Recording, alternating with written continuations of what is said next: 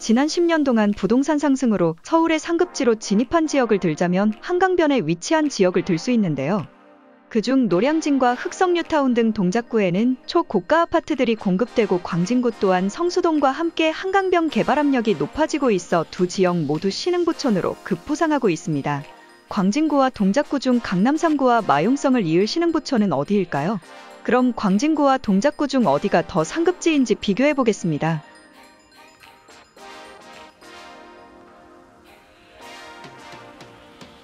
대장 아파트 시세 평균 아파트 가격 비교 2023년 2분기 기준 각 자 치고 대장 지역을 살펴보면 광진구의 광장동은 30평형 아파트 실거래 평균은 12억 2천이며 동작구의 흑석동은 13억 3천만 원으로 평균 시세에서는 동작구가 조금 높다고 볼 수 있는데요. 2023년 기준 2분기 자치구별 전체 30평대 아파트 실거래 평균 시세는 광진구 9억 6천, 동작구 9억 7천으로 비슷한 가격대를 형성하고 있습니다. 2023년 2분기 기준 대장 아파트를 비교해보면 2019년 준공된 1070세대 아크로리버하임 30평형 실거래가는 20억이며 2012년 준공된 453세대의 광장일 스테이트의 30평대 실거래가는 18억인데요. 광진구의 아파트들은 대부분 노후도가 높아 재건축을 앞두고 있다는 점과 대단지가 없는 부분을 감안하면 입지적인 부동산 시세는 큰 차이가 없음을 알 수 있습니다.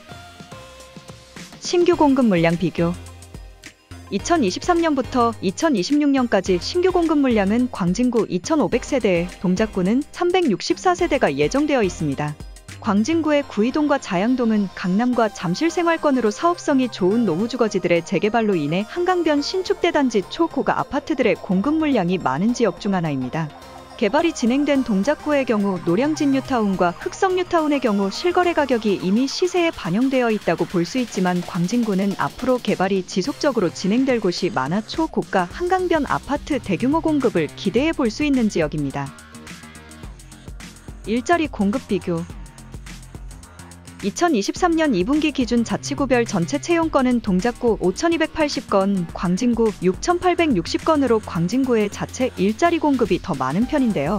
지하철 기준 10분대로 주요 일자리에 출퇴근 가능한 곳을 비교하면 광진구는 강남과 잠실, 성수 그리고 왕십리로 출퇴근하기 유리한 위치입니다.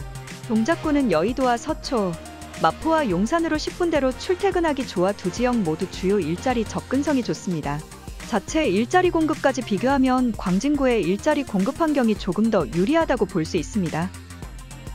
도시 인프라 비교 2023년 광진구의 인구는 33만으로 지속적으로 인구가 감소하고 있지만 구이동과 자양동, 한강변 개발과 노후빌라의 재개발 가능성 등을 앞두고 있어 인구가 증가할 예정입니다.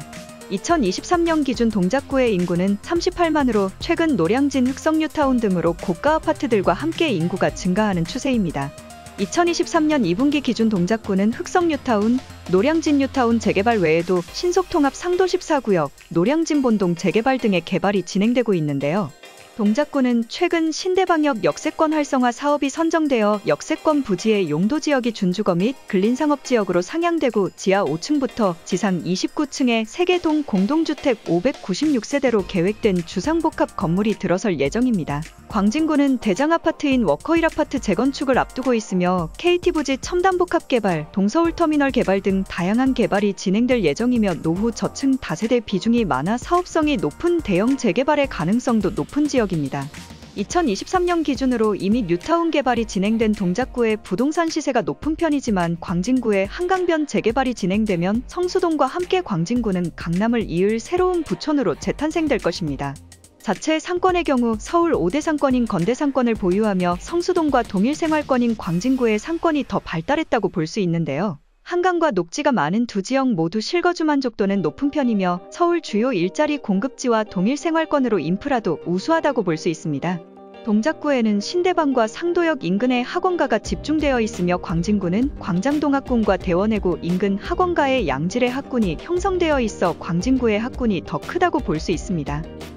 상권, 학구는 광진구가 우세하고 아파트 평균 시세, 개발 압력은 동작구가 높은 편이며 실거주 만족도와 주요 일자리 접근성은 두 지역이 비슷하다고 볼 수 있습니다. 오늘은 광진구와 동작구의 입지 비교를 해보았는데요. 여러분은 동작구와 광진구 중 어느 곳을 선택하실 건가요?